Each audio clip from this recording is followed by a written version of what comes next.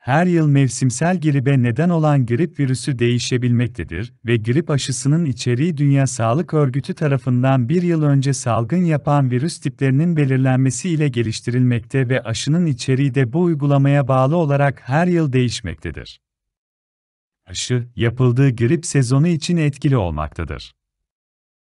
Bu nedenle, eskiden geçirilmiş grip hastalığı ya da uygulanmış grip aşısına bakılmaksızın mevsimsel gribe karşı etkin bir korunma sağlanması için her yıl grip aşısı yaptırılmalıdır.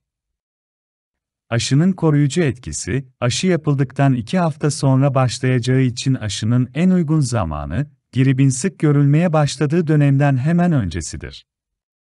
Ekim ve Kasım ayları grip aşısının yapılma zamanı olarak tercih edilmelidir. Aşılanmayanlar kişiler ise Mart ayının sonuna kadar aşılanabilir. Aşının koruyuculuğu yaklaşık 6-8 ay sürer. Peki bu yıl grip aşısında zam geldi mi? Ee, şimdi grip aşısının vurulması ve vurulmaması konusunda e, tabii ki bir söyleyeceğimiz bir şeyler vardır ama bir hekimin e, bu cümleyi kurması daha uygun olacağını düşünüyorum. Ve bir hekim arkadaşın e, bu cümleyi kurmasını isterim. E, biz genellikle e, eczacılar olarak grip aşısının ödenip ödenmeyeceği veya nasıl alınabileceği, nasıl e, temin edileceği e, noktasındayız. E, grip aşıları bu sene iki çeşit, çeşit grip aşısımız var. Bir tanesi e, SGK'nın geri ödeme kapsamında olan grip aşısı. Bir tanesi de SGK'nın geri ödeme kapsamında olmayan grip aşısı. Ee, bir tanesinin ücreti 85 lira civarında. Bir tanesinin de e, her zamanki gibi e, devletin özel e, devletin ödeme kapsamında.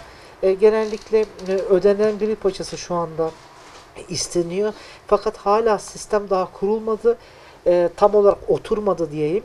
E, şöyle oluyor. E, renkli reçete sistemi diye bir sistem var. Bu sistemle e, hekime grip aşısını yazdırıyorlar. Bir eczaneye başvuruyorlar. E, eczane tedarik kaynaklarına yani depolardan e, grip aşısını o reçeteye istinaden isteyecek.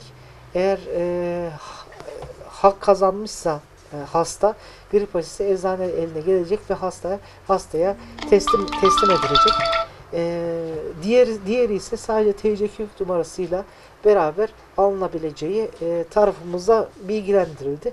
Büyük bir ihtimalle pazartesi veya salı yani şöyle söyleyebilirim önümüzdeki hafta içerisinde çok daha netleşeceğini söyleyebiliriz.